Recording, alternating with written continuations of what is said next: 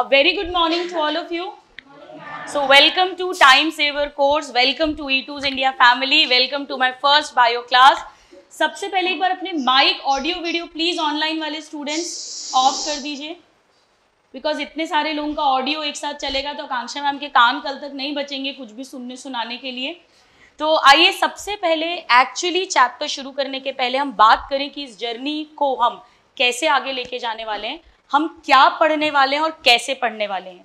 मेरी आपसे क्या एक्सपेक्टेशन रहेगी? आपको मुझसे क्या एक्सपेक्ट करना चाहिए ताकि हम एक टीम की तरह काम करके बायो में 340 प्लस 360 का पेपर होता है इनकेस अगर किसी को पता नहीं है, उसको टारगेट कर सकें। और जो बहुत इजी जर्नी है, अगर आपने वर्ड बाय वर्ड अक्षरतः फॉलो किया, जो भी आपकी रिस्पेक्टिव फैकल्टीज बोलती हैं। तो सबसे पहले मैं आप सबका वेलकम करती हूँ and believe me you are valued you are listen आप बहुत बहुत इंपॉर्टेंट हैं, अगर आप एक रेगुलर स्टूडेंट बनेंगे।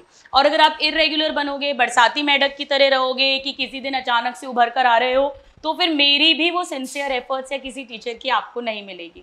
तो सबसे पहली चीज़ जो मुझे आप लोगों से चाहिएगी, सबसे पहली चीज़, मैंने उस दिन ओरिएंटेशन में भी कहा था, वो है आपकी रेगुलरिटी मैंने उस दिन भी कहा था, अगर स्टूडेंट सिर्फ़ हंड्रेड परसेंट अटेंडेंस भी कर लेगा क्लास में फिजिकली प्रेजेंट भले ही वो मेंटली बीच बीच में गायब भी हो जाता हो एलिस इन वंडरलैंड तो भी वो सेवेंटी परसेंट तक अपनी रेस क्रॉस कर सकता है। हालाँकि 70 परसेंट पे सिलेक्शन नहीं होता है कट ऑफ़ उससे ज़्यादा जाता है, लेकिन आप 70 प्रतिशत तक दौड़ जाएँगे।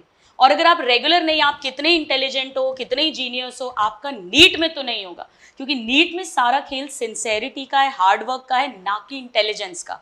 क्योंकि पेपर एक बहुत लिमिटेड एरिया से आता है एक टिपिकल एरियाज़ हैं जहाँ से पेपर बनता है। बायो में एनसीईआरटी के बाहर कुछ नहीं आता। 2022 में भी नहीं आया 21 में भी नहीं आया 20 में भी नहीं आया 19 में भी नहीं आया। पर उसको समझने के लिए आसपास का पढ़ना पड़ता है जो अपन पढ़ेंगे। और फिजिक्स केमिस्ट्री में भी मैं बात करूँ तो पर्टिकुलर सेट ऑफ़ क्वेश्चंस होते हैं। मान लो फिजिक्स में 500 पैटर्न्स हैं क्वेश्चन के। उन 500 पैटर्न में से ही क्वेश्चन बनेगा। इसमें जेई की तरह नहीं है कि 600वां पैटर्न का नया क्वेश्चन आ गया। तो यहाँ सारा खेल जो होता है, वो सिंसेरिटी रेगुलरिटी का हार्ड वर्क और लगातार एंड तक चलना मैं आपको ऑनेस्टली बताती हूँ, और ये बात आप इस बैच में भी देखेंगे, इतने लेक्चर देने के बावजूद, लगातार स्टूडेंट नहीं फॉलो कर पाता कोर्स को।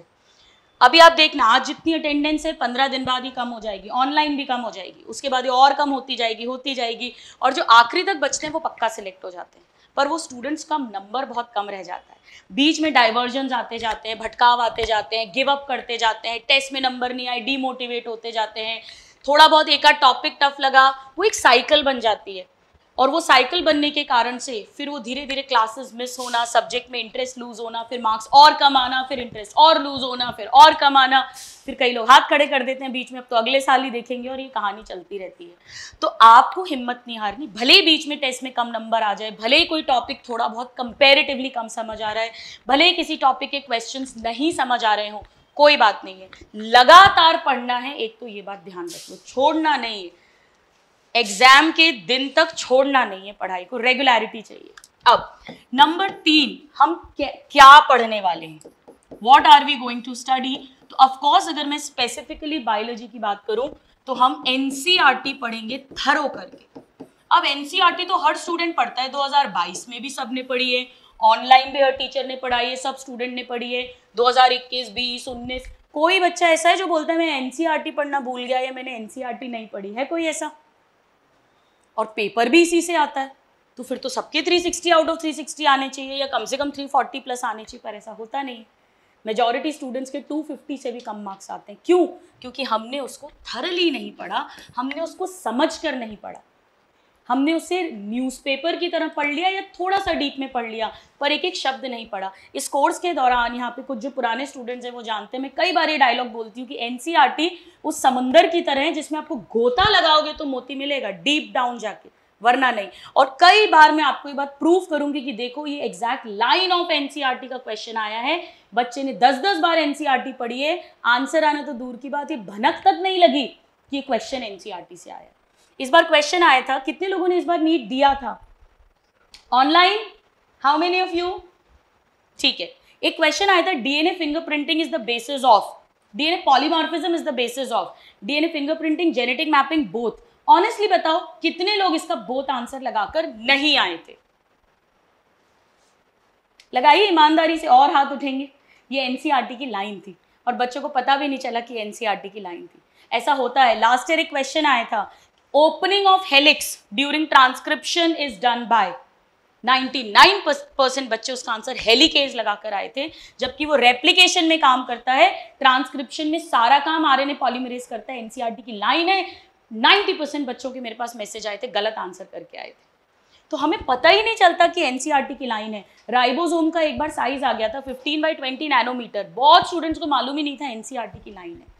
तो एनसीआरटी को समझते हुए पढ़ना थरली पढ़ना, ये बहुत इंपॉर्टेंट है और उसके लिए मैं इसके आसपास का भी पढ़ाऊँगी। अराउंड टेन परसेंट रफली टेन परसेंट आउटसाइड एनसीआरटी भी मैं जाऊँगी और वहाँ आपको मुझ पर ट्रस्ट करना होगा। कई स्टूडेंट्स हैं जो कुछ दिन बाद बोलने लग जाते हैं कि मैम, सिर्फ़ एनसीईआरटी क्यों नहीं पढ़ा रहे हो? तो भाई, अगर आपको सिर्फ़ एनसीईआरटी पढ़ना है तो उसके लिए एनसीईआरटी मास्टर कोर्स मैंने बना रखा है। पिछहत्तर लेक्चर में पूरी एनसीईआरटी पढ़ाई है इलेवन ट्वेल्थ की मिलाकर वो खरीद लो, उसको घर पे बैठ के पढ़ते रहो दस बार आप। उससे थर हो जाएगी। लेकिन मैं फिर बोल रही हूँ एनटी बहुत अनप्रडिक्टेबल है। ये लास्ट टू ईयर से उसने शो कर दिया है। 2021 में सडनली सरप्राइजिंग शॉक की तरह। फिजिक्स का पेपर टफ बना दिया था, जिससे बहुत बच्चों का सिलेक्शन रुक गया था। 2022 में सरप्राइजिंगली बायो क्योंकि उसे मालूम था बायो का पेपर बच्चे पहले अटेम्प्ट करते हैं।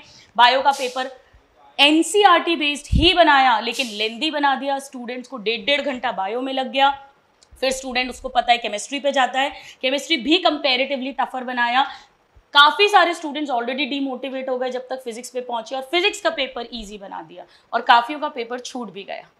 तो ये सरप्राइजेस वो आपको कभी भी दे सकता है। मैं हमेशा बोलती हूँ ओरिएंटेशन में भी कहा था, मुझे आपको वर्स्ट पेपर के लिए प्रिपेयर करना है। घटिया से घटिया बायो का पेपर आ जाए टफ से टफ बायो का पेपर आ जाए, उसमें भी आप 340 प्लस स्कोर करें और बायो के कारण आपका सिलेक्शन ना रुके।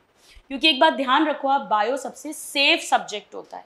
बायो कभी धोखा नहीं देगा एक लेवल के ऊपर का। इस बार भी नहीं दिया, इस बार धोखा उन बच्चों को मिला जिन्होंने अपनी स्पीड पे काम नहीं किया था। मैं पहले दिन से बोल रही थी पेपर लेंदी आएगा लेंदी आएगा रीडिंग स्पीड बढ़ाओ डेली 20 मिनट रीडिंग करो एनसीईआरटी की। जिन्होंने उन बातों को ध्यान दिया, उन बच्चों के बहुत आराम से 320 330 प्लस स्कोरिंग हो रही है बायो में। मिनिमम बोल रही हूँ मैं बहुत आराम से। 340 प्लस वाले भी हैं 348 352 बट 320 प्लस आराम से वो लेके जा रहे हैं। तो स्पीड ने मरवाया। बायो का पेपर, चार पाँच क्वेश्चन तो आते हैं। उनको हटा दोगे तो आप सब डायरेक्ट ही आए थे एनसीईआरटी से। फिजिक्स केमिस्ट्री का पेपर कभी भी एक लेवल हाई हो सकता है, कभी भी कैलकुलेशन मिस्टेक हो सकती है, कभी भी दिमाग घूम सकता है। जनरली वैसे भी थोड़ा सा फिजिक्स में डर लगता है वीकर साइड पे रहती है मेडिकल एस्पिरेंट्स की। तो बायो अगर आपकी वीक होगी तो आप रेस के बाहर हो जाएँगे। तो बायो के साथ तो आप चांस ले ही नहीं सकते हैं। बॉटनी जोलॉजी तो आपको स्ट्रॉन्ग रखना ही पड़ेगा। अगर आप रेस में अंदर एंट्री करना चाहते हो, फिर केमिस्ट्री आपको दौड़ाता है और फिजिक्स रैंक्स डिसाइड करता है। जनरली टॉपर्स के में डिसीज़न होता है, वो under hundred under two hundred जो आते हैं कि फिजिक्स अच्छा है तो ऊपर रैंक आ गई फिजिक्स थोड़ा कमज़ोर है तो थोड़ी पीछे रैंक आ गई पर बायो वीक हुई you are out of the race physics chemistry में पूरे नंबर ले भी आओगे तो भी तो तीन सौ साठ ही आएँगे। तो बायो बायो तो बहुत बहुत बहुत इंपॉर्टेंट है। बायो में अगर आप 350 ले आए 360 तो मैं बोलती नहीं हूँ कभी। अगर 350 भी ले आए एक आध तो मिस्टेक हो ही जाती है। और आप फिजिक्स केमिस्ट्री में 120 120 नंबर भी ले आए तो भी सिलेक्ट हो जाओगे। 120 130 तो भी सिलेक्ट हो जाओगे। अब कैलकुलेशन करके मेरी धज्जिया मत उड़ाना मैडम कट ऑफ़ पाँच नंबर ऊपर नीचे जा रहा है। एक एवरेज बात कर रही हूँ।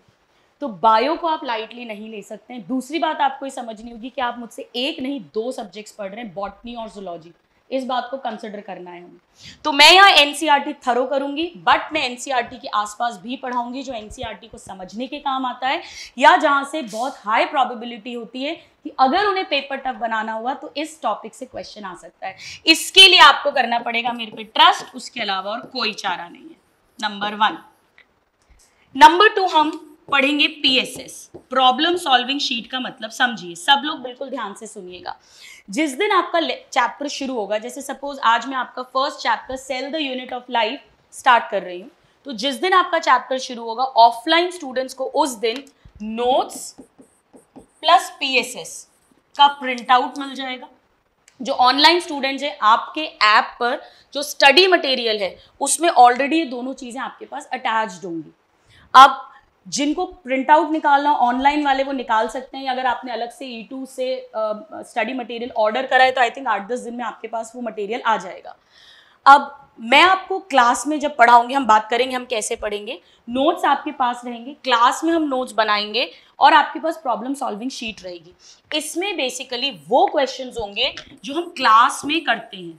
जैसे मान लीजिए आज मैंने cell the unit of life में, मान लो मैंने प्रो कैरियोटिक सेल पढ़ाया और सेल थ्योरी पढ़ाई। तो आज हमने पढ़ा और आज ही हमने इन दो टॉपिक के क्वेश्चंस को भी क्लास में सॉल्व किया। वो क्वेश्चन इस पीएसएस के अंदर होंगे। ठीक है? तो आपको क्या करना है? आपके पास पीएसएस रहेगी। आप उसके अंदर आंसर्स मत मार्क करो। आप पीछे आंसर की बना के मार्क करो। उससे बेनिफिट ये होगा कि जब आपको पीएसएस रिवाइज करना होगा तो बहुत ईजी होगा वरना सामने ही आंसर मार्क दे तो फिर आगे रिविजन कैसे करोगे? तो ये छोटी छोटी चीज़ें हैं, अगर आपको लगता है भूल सकते हैं तो आप भले ही इन्हें लिख लें, पर ये प्रैक्टिस पूरे साल आपको मेरे साथ रखनी है। दूसरा, जब हम सॉल्व करेंगे तो कुछ एक क्वेश्चन ऐसे आएँगे जो बहुत अच्छे आएँगे, बड़े ट्रिकी से आएँगे, जो आपको लगता है, अभी तो मैम ने समझा दी अभी तो मुझे समझ आ गया स्पेशली जेनेटिक्स वगैरह जब आएगा बायोटेक आएगा, पर मैं इसे भूल सकता हूँ। और ये अच्छा अच्छा कंसेप्ट वाला क्वेश्चन है, उसको पीएसएस में hand to hand star marking कर लो या सर्कल कर लो, जो भी आप करते हो। तो आपको पता रहेगा कि जब आप एक बार रिवाइज करोगे तो तो पूरा पीएसएस करोगे। पर अब जब रिविजन करोगे सेकेंड टाइम ऑनवर्ड्स तो सिर्फ़ स्टार मार्क वाले क्वेश्चन रिवाइज करेंगे। हर बार पूरा पूरा रिवाइज नहीं करेंगे, क्योंकि वो तो बिल्कुल डायरेक्ट क्वेश्चन है। जैसे power house of the cell तो उसको हम क्यों रिवाइज करेंगे ना? तो हम फिर सिर्फ़ स्टार वालों को रिवाइज करेंगे। एक बात बहुत अच्छे से समझ लो सबसे बड़ी एक प्रॉब्लम स्टूडेंट्स को आती है जब कोर्स खत्म होने के बाद रिवीजन करना होता है, क्योंकि पूरा सिलेबस फैल चुका होता है और उस रायते को समेटे कैसे वो समझ में नहीं आता है। और सारा प्रॉब्लम होता है, बच्चों को क्या लगता है, वो शुरू से शुरू नहीं करते हैं स्टार्टिंग से। उनको लगता है हम तो सब कुछ रिवाइज करेंगे ह्यूमन नेचर होता है कि मैं स्टार नहीं लगाऊँगा ताकि मैं सब कुछ रिवाइज करूँ। सब कुछ रिवाइज करने के चक्कर में इंपॉर्टेंट चीज़ें छूट जाती है। हमें शुरू से ऐसे पढ़ना है कि रिविजन का मटेरियल भी हमारा रेडी होता जाए। ये बहुत इंपॉर्टेंट है, ताकि हम साइमल्टेनियस भी रिविजन कर सकें और कोर्स खत्म होने के बाद भी हमें पता हो कि मुझे इस चैप्टर में से ये ये ये चीज़ें रिवाइज करनी है, जो टाइम टू टाइम मैं गाइड करूँगी। बट अभी के लिए पीएसएस में आंसर की बनाओ पीछे। वहाँ पर मार्क मत करो, कोई भी कोई भी सब्जेक्ट हो चाहे, और अच्छे कंसेप्ट वाले क्वेश्चन को स्टार मार्क अभी से करते हुए चलो। और अगर कोई बहुत अच्छा कंसेप्ट का क्वेश्चन आ गया स्पेशली फिजिक्स केमिस्ट्री की बात कर रही हूँ तो उसे अपनी जो कॉपी जिसमें आप टीचर्स सॉल्व करवाते हैं या जो भी आपकी क्लास की कॉपी है, मैं तो बोलती हूँ आप उसमें भी लिख लो, उस क्वेश्चन को। बॉक्स बनाओ, अच्छे से हाईलाइट करके और उस क्वेश्चन को लिख लो उसमें, ताकि आपको रिविजन में ईजी हो। ये छोटी छोटी चीज़ें हैं जो बहुत बहुत इंपॉर्टेंट हैं कि हमें कैसे पढ़ना है। अब, तीसरी चीज़ आपको यहाँ मिलेगी। अच्छा एक चीज़ और। इस बार मैंने पीएसएस को दो पार्ट्स में डिवाइड किया है part one and part two part one में जनरल एमसीक्यू बेस्ड क्वेश्चंस होंगे, जो फोर ऑप्शंस वाले आते हैं। और पार्ट टू में मैं एक्स्ट्रा स्टेटमेंट टाइप और ए आर क्वेश्चन देने वाली हूँ आपको, ताकि हम इसकी एम्पल प्रैक्टिस कर सकें। यूट्यूब पर इस बार मैंने बहुत सारे AR की प्रैक्टिस करवाई थी। जैसे अभी मेरे को इसने अगर बोला, मैम AR तो आपने प्रैक्टिस करा दी थी तो बन गए मेरे से। तो हम इस बार स्पेसिफिकली स्टेटमेंट और AR हमको पिछले सालों की कमियों से सीखना है। जहाँ जहाँ जिसकी जो कमी हुई है तो हम इनको अलग से भी एक्स्ट्रा प्रैक्टिस भी करेंगे। प्लस आपके टेस्ट में भी अब से मैं स्टेटमेंट टाइप AR देने वाली हूँ, ताकि आपकी माइंड ऑलरेडी ट्रेन हो जाए। नाउ थर्ड चीज़ जो आपको मिलेगी, वो होगी एक्सरसाइज शीट एक्सरसाइज शीट जो है इसमें भी क्वेश्चंस होंगे। आ, ये आपको चैप्टर के एंड में मिलेगी। जिस दिन चैप्टर खत्म होगा तब आपको ये शीट मिलेगी। ऑनलाइन वालों को मैं अटैच पहले कर दूँगी पर इसे देखना नहीं है क्योंकि इसमें पूरे चैप्टर के मिक्स्ड क्वेश्चंस होंगे। तो अगर आपने इसको शुरू से सॉल्व करना शुरू किया तो आपका टाइम बहुत वेस्ट होगा क्योंकि पहले आप छांटोगे वो क्वेश्चन तो वो सब टाइम बर्बादी होगी। तो एक्सरसाइज शीट बायो में आपको चैप्टर खत्म होने के बाद सॉल्व करनी है। हमारा टारगेट ये होगा कि 24 घंटे के अंदर अंदर हम शीट सॉल्व करेंगे। फ्राइडे चैप्टर खत्म हुआ है तो सैटरडे तक मुझे शीट सॉल्व करनी है। इस शीट का डिस्कशन भी हम क्लास में करेंगे। ऑफलाइन वालों को मैं क्लास में डिस्कस करूँगी। ऑनलाइन वालों का, या तो मैं ऑफलाइन वालों के साथ ले लूँगी, पर कई बार ऐसा होता है, उससे टाइम वेस्टेज होता है सबका तो मैं आपका जूम पर अलग से मीटिंग कर कर और हम वहाँ डिस्कस कर लेंगे। I will discuss that this but it will be done at the end of the chapter ठीक है? यानी डेली आपको क्या करना है? आपको जो पढ़ाया जा रहा है जो लिखवाया जा रहा है अच्छा चलो। कैसे करना है? हाउ। आज की जो क्लास है डेली वो आपको घर जाना है। सबसे पहले नोट्स निकालने हैं जो अपन क्लास में बनाएँगे। एक रफ रजिस्टर सबके पास होना चाहिए बायो का। एक फेयर रजिस्टर जिसमें नोट्स होंगे और एक रफ कॉपी होनी चाहिए बायो के लिए। फेयर रजिस्टर का पेपर रफ हो सकता है वो मतलब नहीं है पर एक क्लास की कॉपी और एक घर का रफ कागज़ होना चाहिए। इसमें जाकर आप, जैसे सपोज़ करो मैंने प्रो कैरियोटिक सेल पढ़ाया तो आपकी वो कॉपी खुली होगी रफ वाली और फेयर वाली दोनों। हाथ में पेन या पेंसिल होना चाहिए। आपने यहाँ से लर्न किया और यहाँ बना बना के भी देख रहे हो अच्छा ये डीएनए हो गया, ये ये माइटो ये हो गया, ये हो गया। आपका पेपर पेन से चलना चाहिए हाथ। ऐसे हवा में लेके कोई लर्न नहीं करेगा, ऐसे बायो नहीं पढ़ा जाता, ऐसे कोई साइंस का सब्जेक्ट नहीं पढ़ सकते हो। अगर आपके पास पेपर पेन नहीं है मतलब आप खुद को बेवकूफ़ बना रहे हो, दस दिन बाद आपको ये तक याद नहीं आएगा कि आपने वो पढ़ा भी था। क्या पढ़ा था वो तो बहुत दूर की बात है। तो बिना पेपर पेन के पढ़ाई नहीं करनी है। रफ कॉपी में पढ़ते जाओगे लर्न करते जाओगे नोट्स याद करोगे। इसके बाद हैंड टू हैंड उतने पार्ट की आपको एनसीआरटी e पढ़नी होगी। हैंड टू हैंड आज अगर मैंने सपोज़ करी आपको cell theory prokaryotic cell पढ़ाया है, आपने नोट्स में से पढ़ा लर्न करा, उसके बाद एनसीईआरटी e उठाई और उसे पढ़ा। हालाँकि मैं पूरी एनसीईआरटी e आपको क्लास में कवर कराऊँगी, पर फिर भी आपको एनसीईआरटी e पढ़नी है। आपके पास लेटेस्ट एनसीईआरटी होनी चाहिए, अगर किसी के पास पुराने हैं तो कोई बात नहीं है। जो अपडेशन हैं दो तीन साल पहले इक्के दुक्के हुए थे, उनको ऐड कर लेना। वो मैं क्लास में बता भी दिया करूँगी कि ये नई चीज़ है जो ऐड हुई थी। तो जिसमें पुराने हैं, वो खरीदो मत दोबारा से, आप वो यूज़ कर सकते हैं। एनसीईआरटी कैसे पढ़ोगे? अगेन हाथ में पेंसिल या पेन होना चाहिए। उसको देखते गए, पढ़ते गए। पर एनसीईआरटी नोट्स के बाद पढ़ेंगे। नोट्स लर्न करोगे रफ में खुद से सब, जैसे आप खुद को समझा रहे हो, कोई स्टूडेंट और आप टीचर बन गए हो, ऐसे करके खुद को समझा के पढ़ोगे और फिर उतने पार्ट की एनसीईआरटी पढ़ोगे। ये डेली का रूटीन होना चाहिए, जैसे घर में अगरबत्ती दिया लगाते हैं, वैसा। ऐसा नहीं कि ये दो तीन दिन में पढ़ लूँ, फिर मैं एक साथ एनसीईआरटी पढ़ूँगा? नहीं। उतना पढ़ना ही पढ़ना है। अभी नहीं, लेकिन वन वीक के बाद में हम एनसीईआरटी की रीडिंग शुरू करेंगे, अपनी रीडिंग स्पीड बढ़ाने के लिए, और उसी के थ्रू हम रिविजन भी स्टार्ट कर देंगे। पर वो अभी नहीं। अभी एक हफ़्ता तो सिर्फ़ यही काम अपने को करना है। और इसके बाद फिर पीएसएस उसी दिन जितना कराया, दस क्वेश्चन कराए तो दस क्वेश्चन दोबारा से देखोगे। ये आपका रूटीन होना चाहिए। अगर आप इसे पूरा साल बायो में फॉलो करेंगे, मैं लिख कर देती हूँ स्टैम्प पेपर पर आपको रेगुलरिटी कंसिस्टेंसी और इसको अगर फॉलो कर लोगे three thirty three forty plus से कम आएँगे ही नहीं आपके। पर आपको फॉलो करना पड़ेगा। ठीक है? सो ये हमारा रूटीन रहेगा बायो पढ़ने का। अब, एक चीज़ मेरे को आज तक कभी कोई नेगेटिव कमेंट नहीं आया, मैं पता नहीं कितने 11 12 साल से पढ़ा रही हूँ। पर एक चीज़ जो मैंने देखा, बड़ा यूट्यूब पर कुछ स्टूडेंट्स हेटरेट फैला रहे हैं कि मैडम पीपीटी से पढ़ाती है, मैडम पीपीटी से पढ़ाती है। मुझे आप एक बात बताइएगा लास्ट ईयर जो कोर्स शुरू हुआ था, वो अक्टूबर फ़र्स्ट वीक से शुरू हुआ था। अक्टूबर नवंबर दिसंबर जनवरी फेबररी और 10 मार्च को कोर्स मैंने ख़त्म कर दिया था। यानी पाँच महीने टेक्निकली थे, जिसमें से पंद्रह दिन दिवाली की हॉलीडेज भी थी। चलो एनीवेज दस दिन के करीब। और मेरे फादर इन लॉ की डेथ हो गई थी तो चार पाँच दिन मैंने ऑफ़ लिया था। तो पाँच महीने में पूरा सिलेबस आपको समझा के पढ़ाना और बोर्ड पे एक एक वर्ड लिखना, ये दुनिया में कोई टीचर नहीं कर सकता। और कोटा में आप करना बात जब आप अपने सीनियर्स से करेंगे, ऐसे कई इंस्टीट्यूट्स हैं जहाँ पर, मैंने ओरिएंटेशन में भी बताया था अक्टूबर से लेके, सभी के सितंबर एंड में कोर्सेज शुरू हुए थे अक्टूबर से लेके फेबररी तक ट्वेल्थ पढ़ाया, सब कुछ लिखवाया नोट्स बनवाए और मात्र एक महीने मार्च में पूरा इलेवेंथ खत्म कर दिया। और जिनका इलेवेंथ वीक था, उनका वीक रह गया और इलेवन ट्वेल्थ दोनों से फिफ्टी फिफ्टी परसेंट आता है। तो आप छोटे छोटे शॉर्ट टर्म गोल्स मत देखिए। आप लॉन्ग टर्म देखिए। मैं तब भी स्टूडेंट्स को काउंसिल करती थी। दो चार स्टूडेंट्स थे डिससेटिस्फाइड बाकी सब जिन्होंने माना उसको they are scoring very well in bio बाकियों ने इस चक्कर में गिव अप कर दिया। क्योंकि आदत होती है दूसरों पे ब्लेम डालने की। बट इस बार हम नोट्स क्लास में बनाएँगे because we have sufficient time मैं समझती हूँ आप लोगों की हैबिट नहीं है इस चीज़ की, लेकिन वो एक अलग सिनेरियो था, एक अलग सर्कमस्टांसेस थे। बट इस बार हमारे पास एम्पल टाइम है, हम, हमारे पास पूरा अगस्त पूरा सेप्टेम्बर वो एक्स्ट्रा दो महीने हैं तो हम बहुत आराम से नोट्स क्लास में बनाएँगे। अब, एक चीज़ और कि आप लोग हैं कोविड के साइड इफ़ेक्ट्स वाले बच्चे। है ना? तो आप लोगों की लिखने की आदत हो गई है बहुत कम। ये मैंने इलेवन ट्वेल्थ में भी इस साल देखा जो हमारे पाइनियर प्रीमियर वाले स्टूडेंट्स हैं।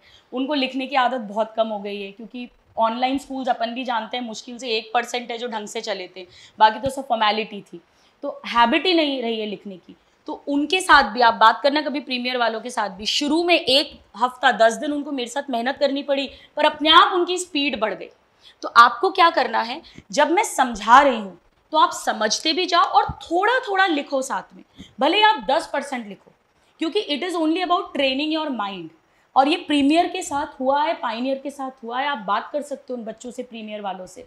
तो सपोज़ मैं डायग्राम बना रही हूँ तो आप ऐसा मत करो कि नहीं नहीं, हम तो साथ में बना ही नहीं सकते तो पूरा मैडम अभी तो हम सुन रहे हैं, फिर आपने पूरा बना दिया, अब आप हमको पूरा टाइम दो बीस मिनट का। मैं करूँगी शुरू में, मैं दूँगी आपको टाइम मैं आगे भी दूँगी टाइम लेकिन हमें उस टाइम को रिड्यूस करते जाना है धीरे धीरे ताकि हमारा समझने पे फोकस रहे और हम वेल इन टाइम अपना कोर्स कंप्लीट कर सके। मैं आपसे ऑनेस्ट बात कर रही हूँ। तो धीरे धीरे थोड़ा थोड़ा साथ साथ में बनाओ। समझते जाओ, बनाते जाओ। भले ही आप पाँच परसेंट मेरे साथ बना पा रहे हो, दस परसेंट मेरे साथ बना पा रहे हो, कोई बात नहीं। आप खुद देखना, दस दिन, पंद्रह दिन के बाद में आप बीस परसेंट साथ में बना पाओगे समझते हुए। पहली चॉइस समझना है ऑफकोर्स समझना is the first choice but थोड़ा थोड़ा आपको मेरे साथ में बनाने की प्रैक्टिस करनी पड़ेगी ठीक है? So, अब बताइए किसी को कुछ और अगर मुझसे पूछना है फिर हम आज का क्लास शुरू करेंगे। हाँ बिल्कुल NEET twenty May in May twenty N T A से है क्या ये? बिल्कुल बिल्कुल एन है। एन टी ए का ही पेपर आ रहा है 2021 से भी। देखिए इस बार कई सारे ऐसे टॉपिक्स हैं जिनके क्वेश्चन बॉटनी जोलॉजी दोनों में आए हैं। तो आप लोग ये सोचना छोड़ दीजिए कि कौन सा चैप्टर बॉटनी में है या जूलॉजी में है।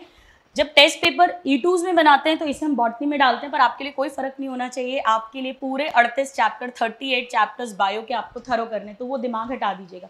बिल्कुल हाँ ये चीज़ और मुझे बतानी थी। क्लास के जो नोट्स हुआ करेंगे ना, जो पीपीटी इस पे अपन ने पढ़ा डायग्राम बनाया, मैंने कुछ एक्स्ट्रा लिखवाया, वो सब का भी पीडीएफ बनाकर ऑफलाइन वालों का जो व्हाट्सएप ग्रुप है, उस पर शेयर कर दिया जाएगा सेम डे क्लास के बाद। और जो ऑनलाइन वाले उनका टेलीग्राम ग्रुप पर शेयर कर दिया जाएगा। वो भी हम कर देंगे, ठीक है? चलिए तो आज से हम क्लास स्टार्ट करते हैं अपनी। नई कहानी की शुरुआत करते हैं।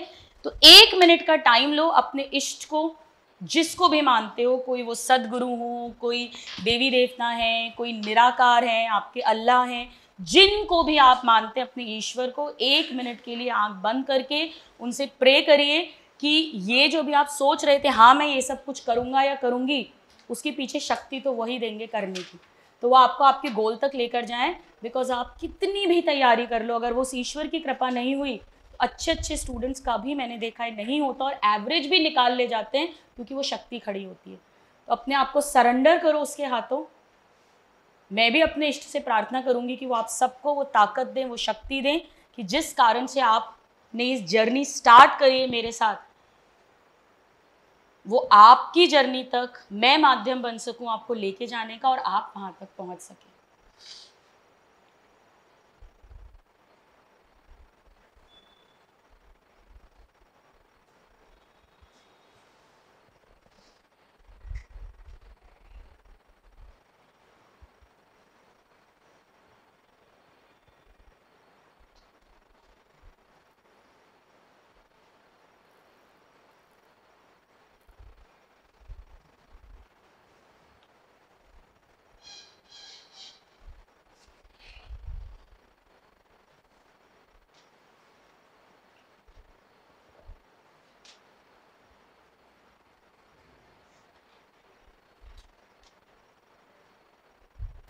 इसके अलावा ऑनलाइन वालों के जो भी डाउट्स होते हैं, आप लोग मुझसे टेलीग्राम पे भी पूछ सकते हो। वैसे टेलीग्राम पे आप इतनी दमा चौकड़ी करते हो, मैं हर आधे घंटे में टेलीग्राम देखती हूँ और उसमें सौ मैसेजेस होते हैं।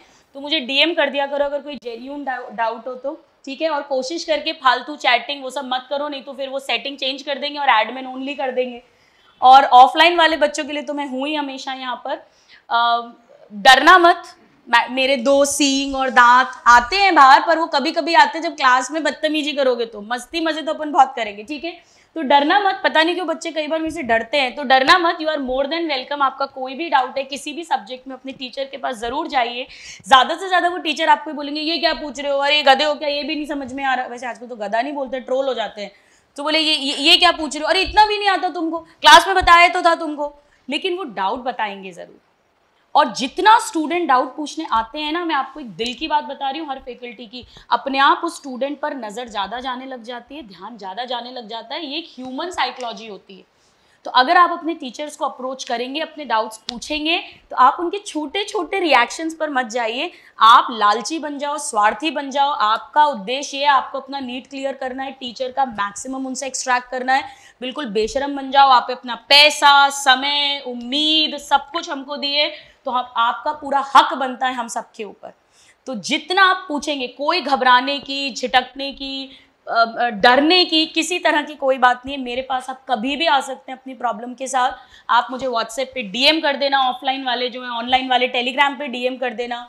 ज़्यादा बात करनी हो तो मुझे ऑडियो मैसेज भेज देना। मैं आपको ऑडियो मैसेज पर रिप्लाई दे दूँगी। तो करें शुरू, चलिए। सो आइए हम स्टार्ट कर देते हैं। टेलीग्राम ग्रुप जो है स्टूडेंट्स निकिता मैम ने बताया था ई टूज इंडिया के होम पेज को ओपन करना ई टूज ऐप को, और वहाँ पर एक बैनर आता है जिसपे लिखा रहता है ज्वाइंट टेलीग्राम चैनल उसको क्लिक कर दीजिएगा। ठीक है? अब भाई, ये सब मत करोगे मैडम पीपीटी का बैकग्राउंड कौन सा रखना? इतना धनिया मिर्ची करोगे तो कैसे बायो पढ़ोगे? बैकग्राउंड ग्रीन रहेगा, क्योंकि ग्रीन सदियों से ग्रीन बोर्ड चला आ रहा है, क्योंकि ग्रीन जो है, वो आईज के लिए सूदिंग होता है व्हाइट या ब्लैक बैकग्राउंड से आँखें खराब होती हैं, और मैडम तो वैसे ही डॉक्टर है। ठीक है? तो ये सब बिल्कुल भी मत करो कि मैडम, ये ये छोटी छोटी चीज़ों से ऊपर उठो भाई। आपको पनीर की सब्ज़ी खानी है ना, अब उसमें एक धनिया नहीं, ना एक वो मिर्ची नहीं, ना ना, ये सब मत करो आप। आप ट्रस्ट करो अपने रसोई के ऊपर, उसको खाना बनाने दो, वो शेफ है, वो कई सालों से खिला रहा है, आपको खिला देगा, आपके भरपेट लायक तो खिला देगा वो, ठीक है? तो चलिए हम शुरू करते हैं और हम अपनी हर क्लास एक नारे के साथ शुरू करा करेंगे। बोलो, बायोलॉजी मैया की जय! बोलो, आवाज़ें नहीं आ रही है मैया कैसे खुश होगी? बोलो। बायोलॉजी मैया की नहीं हुआ नारा। फिर से लगाओ एक बार। शुरू करो। क्या है नारा? हाँ बोलो। बायोलॉजी मैया की